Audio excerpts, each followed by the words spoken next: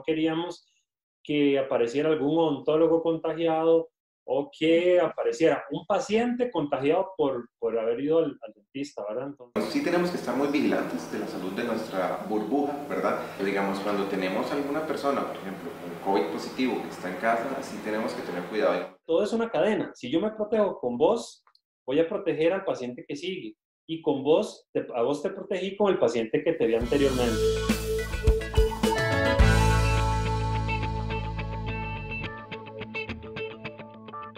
Cuando hablamos de salud bucodental nos referimos eh, específicamente a todos los cuidados que tenemos que tener para mantener nuestra cavidad oral digamos, de la mejor manera. Eh, con esto nos referimos inclusive a lo que es cepillado, la utilización de enjuagues, cosas tan básicas como la utilización de hilo dental, que nos van a permitir eh, mejorar no solo la salud a nivel de la cavidad oral, sino también nuestra calidad de vida. Porque si no tenemos los implementos básicos o los hábitos básicos para cuidar de nuestra salud oral, vamos a tener eh, infecciones en la boca, vamos a tener malestares, ¿verdad? Y por lo tanto eh, no nos va a permitir llevar una mejor calidad de vida. El cuidado de los dientes y la boca es muy importante porque nos van a permitir, eh, es todo un complemento. Nuestro sistema de la cavidad oral está comunicado directamente con lo que es el sistema gastrointestinal. Entonces, si no tenemos las piezas dentales completas, por ejemplo, a nivel de la cavidad oral, vamos a tener problemas de masticación, vamos a tener problemas del bolo alimenticio, vamos a tener problemas de fondo, donde los pacientes van a tener gastritis severas, van a tener eh, problemas digestivos, eh, problemas con la deglución de la comida. Entonces, algo tan importante como lo es eh, la cantidad de piezas en boca y el estado de salud de esas piezas va a repercutir de una manera sumamente grande en nuestro sistema gastrointestinal y por lo tanto en nuestra calidad de vida diaria. La alimentación es uno de los... ¿verdad? Es uno de los aspectos importantes. Eh, tenemos que tener en cuenta que obviamente no es lo mismo que ingamos alimentos duros con todas las piezas dentales en boca, a que si nos faltan, digamos, 6, 7 piezas dentales, eh, ya no vamos a poder ingerir cierta cantidad de alimentos, ¿verdad? Y cierta calidad de alimentos que nos van a ayudar a nutrir nuestro cuerpo. Sí, el cuerpo humano está completamente conectado, digamos, eh, de hecho, hay, hay cosas que, digamos, los mismos pacientes, las mismas personas no saben todos nuestros dientes tienen un sistema nervioso completo. Entonces, digamos, si tenemos alguna pieza dental en un mal estado, como alguna infección, nos va a repercutir inclusive en dolores de oído, dolores de cabeza, dolores de la nuca, dolores del pelo, del cuero cabelludo, ¿verdad? Entonces, a veces muchos pacientes llegan a la consulta diciendo que han ido ya donde el otorrino, que han ido donde el médico general, que les duele el oído, que les han revisado, que les han dicho que no tienen infecciones y en realidad el problema radica en una pieza dental. Digamos, cuando tenemos personas eh, con padecimientos secundarios como diabetes, como hipertensión, son personas que tienen que estar en constante revisión con el odontólogo. A veces las personas no lo toman de una manera tan importante, ¿verdad? Y está bien, van a la revisión con el médico general, con el especialista, y eso está bien, eso está perfecto. Pero todos los padecimientos de fondo se comunican siempre, siempre, siempre a cavidad oral. Entonces podemos tener pacientes que tal vez tienen algún dolor, alguna dolencia en alguna muela que nos va a alterar la presión arterial, nos va a alterar todos esos factores y entonces va a alterar la enfermedad de fondo. Van a ser pacientes hipertensos que van a estar en un descontrol, en un descontrol y simplemente a veces por algún dolor a nivel de la cavidad oral que nos está alterando todo el sistema nervioso, todo el sistema circulatorio, ¿verdad? Entonces nos va a afectar en gran parte. Y nuestro cuerpo siempre, siempre va a tener que estar en una condición excelente para poder enfrentar alguna enfermedad. Porque, por ejemplo, cuando tenemos alguna herida a nivel de piel y se nos hace alguna infección, eh, nuestro cuerpo va a combatir primero esa infección, que es la infección incipiente, lo que está sucediendo antes de cualquier otra infección secundaria, virus, bacteria que se aloje en nuestro cuerpo humano. A nivel de la cavidad oral sucede exactamente lo mismo. ¿Qué pasa? Hay pacientes que durante años, y nosotros lo vemos con radiografías que nosotros tomamos, andan con infecciones en las muelas, en los dientes, en la cavidad oral y no se dan ni cuenta. ¿Por qué? Porque hay algo muy importante, las infecciones son silenciosas a nivel de cavidad Una infección no va a doler. Entonces la infección a nivel de cavidad eh, al no doler el paciente no se da cuenta hasta que no tenemos un método diagnóstico como la, la radiografía o el examen clínico que nosotros hacemos. Al estar esa infección presente, el cuerpo va a estar batallando durante años, lanzando todos sus mecanismos de defensa, todas las inmunoglobulinas, todos los anticuerpos para combatir y tratar de, de eliminar esa enfermedad que Obviamente no lo va a lograr si no tiene una ayuda ¿verdad? por parte de nosotros y por lo tanto no se va a concentrar en infecciones nuevas que estén llegando, infecciones agudas, ¿verdad? como algún tipo de virus o bacterias que se alojen en el cuerpo. Hay varias etapas, digamos, tenemos siempre una etapa aguda, que es cuando el paciente le dolió en algún momento de su vida. ¿Qué pasa? Eh, muchas veces, y en Costa Rica tenemos la mala costumbre de automedicarnos. Entonces, el paciente, por ejemplo, le dolió alguna muela, eh, se tomó un ibuprofeno, se tomó acetaminofén, se tomó cualquier medicamento que tenía en la casa, se le quitó el dolor, está bien, no me voy a revisar porque se me quitó el dolor, me alivié.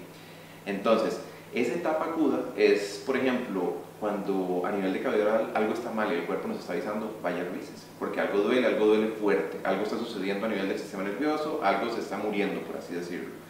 Como no nos fuimos a revisar, como nos tomamos el antibiótico que teníamos en la casa, el analgésico, el, cuerpo completó su proceso de morir, digamos, esa terminación nerviosa, de eliminar esa terminación nerviosa y se generó ya una infección. La infección, ¿por qué decimos que es silenciosa? Porque ya pasó la fase aguda de dolor. Ahora viene una fase crónica donde el cuerpo tiene una infección latente, una infección latente, y ya la infección lo que hace es acumularse, digamos, en el caso de cavidad, se acumula en el hueso de mandíbula, se acumula en el hueso de maxila, y se permanece ahí durante años. Puede permanecer en una etapa ahí como latente, silenciosa. Ya cuando la infección ha cargado mucho los huesos de la boca, es cuando el paciente vuelve a sentir un dolor. Y es cuando viene a la consulta porque y dice, ay no, pero no me acuerdo cuándo me dolió. Claro, le dolió hace muchísimos años y nunca acudió al dentista. Eh, podemos hablar de todo el sistema de defensas. El cuerpo tiene todo un sistema de inmunoglobulinas, que es un sistema inteligente. Hay un montón de inmunoglobulinas que se van a dedicar cada una a defender el cuerpo, digamos, en sus distintas eh, partes. Entonces, más que todo, tiene que ver con todo el sistema inmunológico del cuerpo. Todo lo que incluye médula espinal, todo lo que incluye inmunoglobulinas. Todo ese sistema se va a concentrar, digamos, en atacar la infección que se está dando a nivel de cavidad oral y va a dejar en un plano secundario cualquier otra infección del cuerpo dependiendo del tipo de infección que tengamos, ¿verdad? Obviamente, si en el cuerpo tenemos eh, una gripe muy fuerte, el, sistema inmune se va a dividir, ¿verdad? Él divide una parte para atacar el sistema, eh, ¿verdad? Para atacar la infección oral y otra para atacar la infección que nos está eh, perjudicando en el cuerpo humano, ¿verdad? Entonces sí, por eso hay que tener un balance, o sea, siempre hay que tener, nosotros siempre insistimos en que el paciente tiene que estar viniendo a su revisión, aunque a veces le dé pereza, aunque a veces cree que la cita de cada seis, cada cuatro meses que nosotros decimos es solo por decirlo, no, es porque en esa cita no es una, simplemente una cita de limpieza, nosotros podemos dar con alguna pieza dental que esté generando alguna infección de fondo y que pueda perjudicar al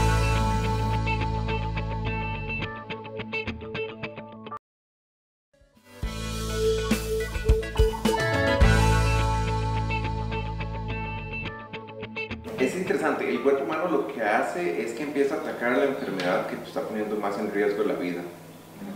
Él, ve, digamos, obviamente cualquier enfermedad que va a atacar órganos vitales, que va a reducir nuestra capacidad de sobrevivir, es lo que va a atacar primero. ¿Qué pasa? Eh, por ejemplo, hay enfermedades en boca que son infecciones que inclusive pueden llegar al sistema circulatorio y al corazón. De hecho, nosotros, digamos, cuando hay algún paciente que viene con algún tipo de trasplante, con alguna válvula cardíaca artificial, es parte de las cosas que se tienen que preguntar sí o sí en la anamnesis, en, el examen, en lo primero que el paciente llena en el expediente. ¿Por qué? Porque esas válvulas cardíacas artificiales eh, el cuerpo está inmunosuprimido, o sea, está disminuida completamente su capacidad de reacción al tener un cuerpo extraño y nosotros antes de hacerle cualquier procedimiento tenemos que mandar lo que se llama profilaxis antibióticas, que es como cubrir al paciente con un antibiótico para ayudarle al sistema inmune a que no se nos genere una infección secundaria de boca a corazón. ¿Cómo se pueden dar las personas cuenta que tienen entonces, digamos, un a veces duele y a veces, no. Ok, ¿cómo nos podemos dar cuenta entonces que hay dolor, eh, que hay una infección en boca? A veces es muy evidente. ¿A qué me refiero con eso? A veces llegan los pacientes a la consulta y digamos, al menos en la especialidad mía, llegan y me dicen, doctor, eh, tengo como una espinillita en encilla, me sale como un poquito de pus. Eso ya es una enfermedad crónica que imaginémonos que el cuerpo, cada pieza dental está rodeada como una casa de cuatro paredes, que es hueso cuando ya no existe ese hueso porque la infección lo ha carcomido y es tan grande, ahí es donde la infección sale por la encía. Entonces, cuando un paciente viene con una infección que ya no sale por la encía clínicamente visible, ha carcomido hueso humano. Imagínense, es tan fuerte las bacterias que han carcomido el hueso. Ahí es clínicamente muy evidente. Cuando no es tan evidente, cuando el paciente viene y nos dice, me duele una pieza, no sé cuál es, o no tengo dolor, o a veces he tenido una sensación extraña. A veces los mismos pacientes dicen una frase muy común que es que sienten un desconsuelo, ¿verdad? Entonces, ¿qué es lo que hace uno? Eh, hace ciertas pruebas clínicas para determinar cuál es la pieza afectada y nuestro elemento diagnóstico más importante es la radiografía. Nosotros tomamos radiografías, en el caso de nosotros aquí en la clínica Vitality tenemos radiografía digital 100%. Entonces la tomamos en un segundo y en un segundo nos aparece en la pantalla y ya podemos diagnosticar qué es lo que está mal con la pieza dental o cuál es la pieza que tiene la enfermedad de fondo. Con el cáncer oral, ¿verdad? Es un tema bastante eh, controversial porque el paciente siente eh, que se le hizo como un afta, como, ¿verdad? como una úlcera pero es una úlcera que no desaparece, que lleva 8 días, que lleva 15 días, que lleva 22 días, 1, 2, 3, 6 meses. En eso tenemos que tener mucho cuidado. Siempre, digamos, a nosotros como odontólogos, cuando vemos alguna lesión que no es propia de la boca, a nivel de bordes de la lengua, a nivel de labios, a nivel de la cavidad oral interna, y el paciente dice, la he tenido por 3 meses, 6 meses, no me sana, es, una, es un banderazo rojo, es una alerta que nos dice hay algo que está mal. En ese caso, eh, hay que comunicarse con el patólogo oral, él llega a la clínica, toma una biopsia, eso se manda a un laboratorio y nos dan un resultado certero de lo que el paciente tiene.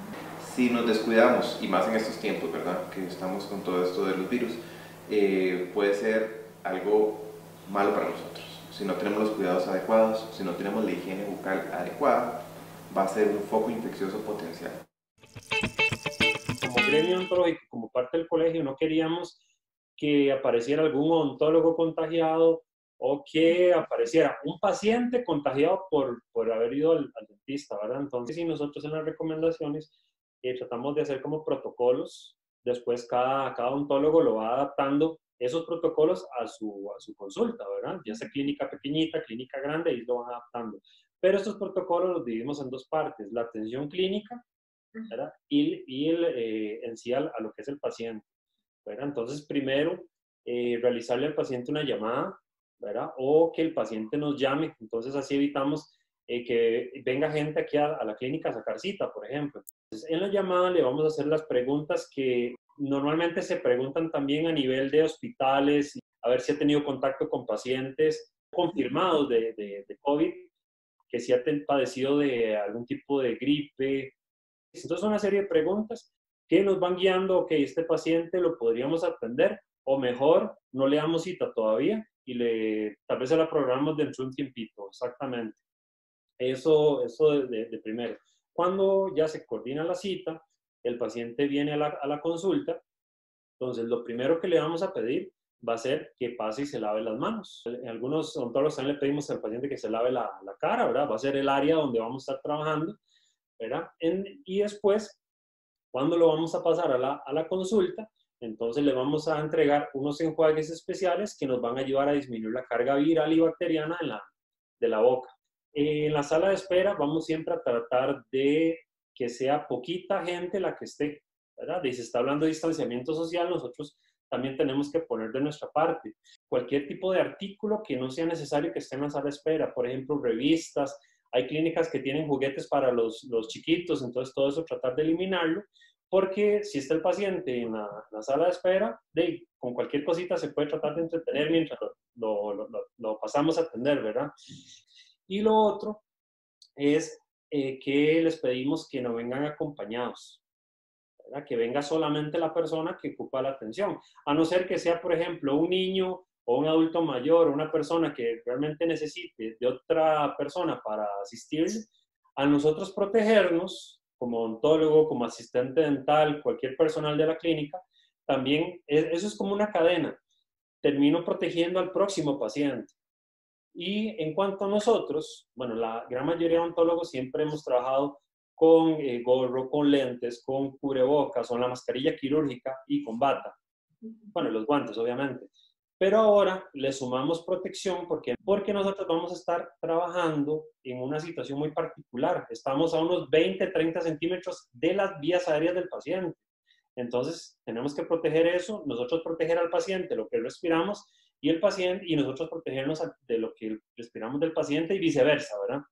Y además de los respiradores eh, N95, le sumamos la careta que también muchos odontólogos ya lo utilizábamos antes. Y eh, se, ha, se, ha, hablado también de los temas de aerosoles, los aerosoles que se generan en el ambiente, que si este virus se transmite por, por eh, vía aérea, ¿verdad? En el, en el aire.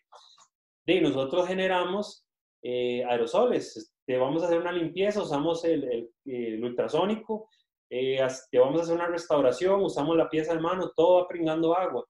esa agua partículas microscópicas podrían quedar en el ambiente y, y ahí podría estar el virus, ¿verdad? Entonces la idea es tratar a todos los pacientes como si fueran pacientes portadores, asintomáticos, ¿verdad? Y así le damos seguridad. Y entonces, si generamos este aerosol, eh, tenemos que también proteger todo esto. Entonces, nosotros nos protegemos. Eh, la idea es que una vez que se termina una cita, dejar un pequeño espacio para lograr desinfectar muchísimo más. Como te decía al principio, siempre lo hemos hecho, pero ahora tenemos que ser más minuciosos en todo esto que, que realizamos, ¿verdad? Entonces, eh, generar un, pequeño espacio entre una cita y otra para que podamos desinfectar y a la vez ese aerosol y vaya precipitando también, ¿verdad? Y ya no, no quede tanto en el ambiente para que el próximo paciente que viene ya esté lo más limpio posible el consultorio, ¿verdad?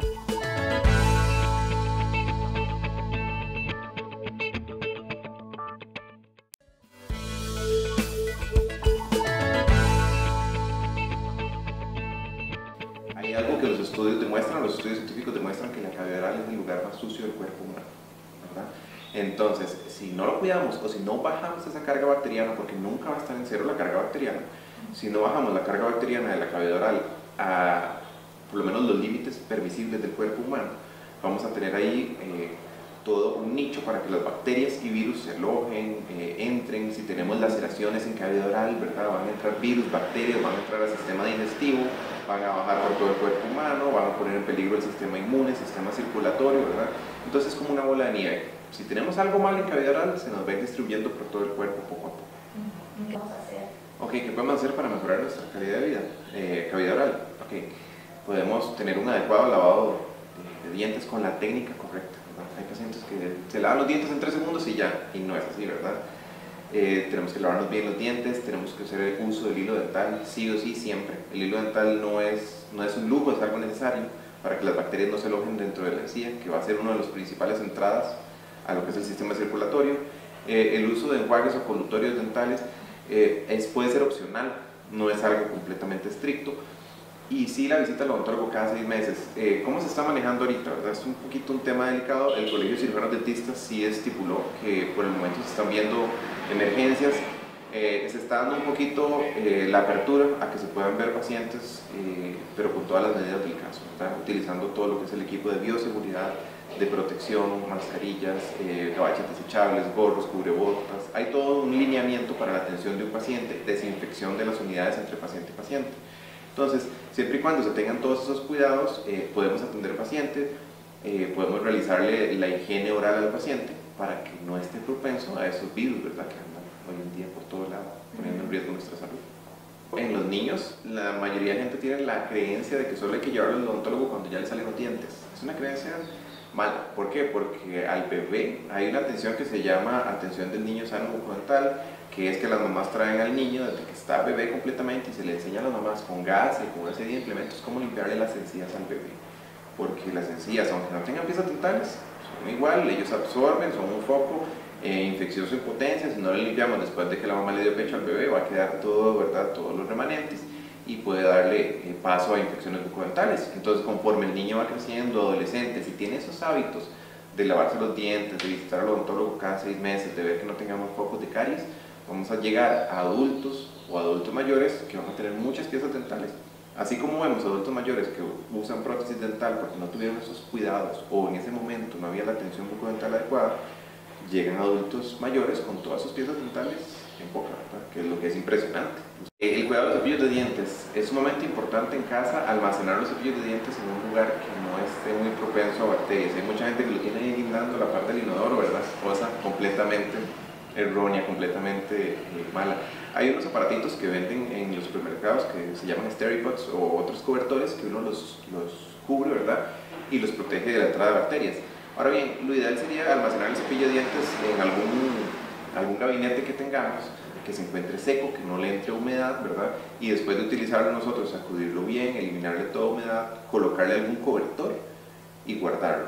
Ahí es donde, digamos, para evitar la entrada de bacterias a los cepillos dentales porque si no tenemos ese cuidado de los cepillos dentales, digamos, cuando tenemos alguna persona, por ejemplo, con COVID positivo que está en casa, sí tenemos que tener cuidado, digamos, esa persona tiene que tener su pasta dental por aparte, porque si bien es cierto, nosotros cuando estamos en casa sacamos un poquito de pasta y hasta que se restringe el cepillo contra la pasta de dientes, ya ahí eso estaría contaminado completamente. Esa persona tiene que tener su pasta eh, dental, tiene que tener su cepillo por aparte, el cepillo ojalá después de cada vez que lo use se puede hacer, se puede echar en agüita caliente, desinfectarlo, ¿verdad? En agua caliente para que bote o elimine cualquier tipo de bacteria o virus, ¿verdad? Que se encuentre almacenado en él, para que no sea un foco de transmisión a las otras personas y a cabida oral, ¿verdad? Y que no siga el, ciclo ahí del virus en el cuerpo. Exactamente, sí, eh, digamos, sí tenemos que estar muy vigilantes de la salud de nuestra burbuja, ¿verdad? Porque siempre y cuando estén dentro del núcleo familiar, ¿verdad? Pero no vamos a andar tocando bocas ajenas. si son, por ejemplo, los hijos, eh, podemos estar revisando que no tenga ninguna caries. Eh, el papá, ¿cómo sabe que tiene ninguna caries? Bueno, que hay algún puntito negro sospechoso, algún que inflama, que el niño dice que le duele, que le duele la muelita, ¿verdad? Son señales de alerta, los niños siempre van a decir que les duele algo. Y en el caso de los adultos mayores, eh, si tienen algún tipo de prótesis dental, hacerles, instarles a que las estén lavando, revisarles ahí a como podamos los tejidos, de que no veamos alguna úlcera, alguna señal de alerta, ¿verdad? Bien evidente. Eh, que tengan todo, digamos, bien limpiecito. ¿Por qué? Porque las prótesis dentales, por ejemplo, son un poco infecciosas si no el adulto mayor no se las quita para dormir, si no las lava. Entonces, tener esos cuidados en casa. Si no estamos saliendo, estar revisando los nuestros y cuidando de ellos. Y ante el más mínimo signo de alerta, ponerse en contacto con el odontólogo, eh, más o menos mencionarle qué es lo que está sucediendo, eh, para que nos guíe de la mejor manera si efectivamente es una emergencia y tiene que asistir al consultorio dental. hay cuidados en boca que tenemos que tener eh, a diario, por ejemplo, evitar los hábitos parafuncionales. ¿Qué es eso? Personas que se los ve todo el día mordiendo un lápiz, un lapicero, llevándose las manos a boca, ¿verdad? teniendo todo ese tipo de contactos o que usted los ve y tal vez están mordiendo cosas, mordiendo papeles, todo ese tipo de cosas. Usted no sabe dónde anduvo el papel, no sabe el lapicero dónde lo puso, ¿verdad? Entonces está permitiendo la entrada, gente que se chupa las manos, que se come las uñas, ¿verdad? Todo ese tipo de hábitos nos van a permitir el cuerpo la entrada de virus, que obviamente nos va a afectar en gran manera. Digamos, eh, si es importante entonces recordar eso, que la salud oral es súper importante, nos va a ayudar a mantener nuestro sistema inmune en buen estado no va a ser el único medio, tenemos que estar yendo a los chequeos médicos, tenemos que ver cualquier señal de alerta en nuestro cuerpo humano en general, cualquier cosa, cualquier signo de temperatura, cualquier... y ser conscientes más que todo con uno mismo y con los demás. ¿verdad? Si vemos algún signo de alerta, eh, quedarnos en casa, llamar a las autoridades respectivas, eh, porque en cualquier momento, y no discrimina a nadie, cualquiera podemos ser un poco infeccioso ¿verdad? para cualquier, cualquier persona en nuestro país a nivel mundial, entonces hay que tener mucho cuidado y retomar la importancia de lo que es cabello oral, eh, nuestra higiene bucodental y más que todo también nuestro estado del cuerpo humano en general. Si yo te protejo a vos y me protejo de vos, aunque no tenga nada, pero no lo sabemos, eh, al próximo paciente le voy a estar brindando la misma seguridad y él mismo se va a estar sintiendo súper seguro y así, como te decía al principio, es como una cadena. Si me protejo con el primer paciente, con el segundo, con el tercero, con el que termino al final del día, y le terminé ofreciendo una super seguridad como si con él hubiera empezado el, el día, ¿verdad? Entonces, eso ha sido como la, la tónica que hemos tratado de manejar en el, en el colegio, ¿verdad? Evitar cualquier tipo de contagio dentro de un consultorio ontológico, generando una seguridad o aumentando esa seguridad en la que siempre hemos eh, estado trabajando e insistiendo mucho, pero sobre todo ofrecerle al paciente o darle al paciente la, el conocimiento de que sepa de que en una clínica dental su odontólogo ya sabe cómo tiene que manejar esto, ya sabe cómo se comporta el virus, ya sabe qué es la enfermedad. Entonces, mantienes una muy buena higiene, vas a tener una carga viral disminuida. Entonces, si te, si, te contagias del virus, posiblemente, eh, que se ha mencionado también eso, ¿verdad? Posiblemente te vaya a dar de una manera más favorable, pero también vas a disminuir enfermedades en, en la boca problemas en, en las encías, caries, dolor dental. Imagínate, ahorita la idea es tratar de no salir y vos desesperado un fin de semana buscando un dentista porque tenés dolor dental. Entonces tratar de disminuir todo eso. Y también, como te dije, es una cadena. Todo entra por la boca, entonces te alimentas por la boca y vas a tener entonces una mejor salud oral que al final tu salud general se va a ver beneficiada. De ahorita estamos elaborando en el colegio unas eh, una segunda versión de las recomendaciones, ya abarcando ciertos aspectos más en la clínica, pero con las primeras recomendaciones que dimos al puro principio, eh, ya los odontólogos, todos los odontólogos del país, o al menos la gran mayoría, ya lo están eh, realizando. Entonces, los odontólogos de Costa Rica se han comprometido a que sus negocios no sean vectores de transmisión y que sus pacientes puedan visitar de una manera eh, confiada de que pueden ir a hacerse una limpieza, un blanqueamiento, lo que sea, en un lugar donde se van a estar preocupando por su salud general, por su salud oral y por todo esto del, eh, de la pandemia, ¿verdad? Siempre y cuando tengamos todas nuestras medidas a nivel de cavidad oral, a nivel físico también, mantenernos con una buena alimentación, sana alimentación, vamos a tener nuestro sistema inmune en las mejores condiciones. Porque en esta época tal vez la gente está un poquito más metida en la casa y tiende mucho a comer también comidas poco saludables. Entonces, todo ese tipo de cosas, siempre y cuando tengamos una buena alimentación, una buena salud a nivel de cavidad oral y un buen estado físico de nuestro cuerpo, vamos a tener un buen sistema inmune. No nos va a hacer eh, completamente ¿verdad? invencibles al virus, pero nos va a ayudar en gran manera. Entonces es importante recordar eso, mantener siempre una salud integral, completa nosotros, ¿verdad? no descuidar ningún aspecto eh, en nuestro cuerpo humano porque va a ser nuestra arma número uno de defensa contra estos virus que se encuentran hoy en día, ¿verdad? Como el COVID. Y eso vuelve también a, a, incide en la salud también. Exactamente, incide en la salud de la boca. Exactamente. Todo lo que es buena alimentación nos va a incidir en lo que es la salud bucodental. Entonces, todo, todo está interconectado. Eso es lo importante, digamos, que tenemos que recordar. Nuestro sistema eh, humano, nuestro cuerpo humano no va a funcionar independiente. Todo va a estar siempre 100% conectado. Si tenemos algo que nos está fallando, nos va a repercutir en todos nuestros órganos del cuerpo. En este caso, nos va a repercutir en alta manera en lo que es cavidad oral ¿verdad? y salud bucodental.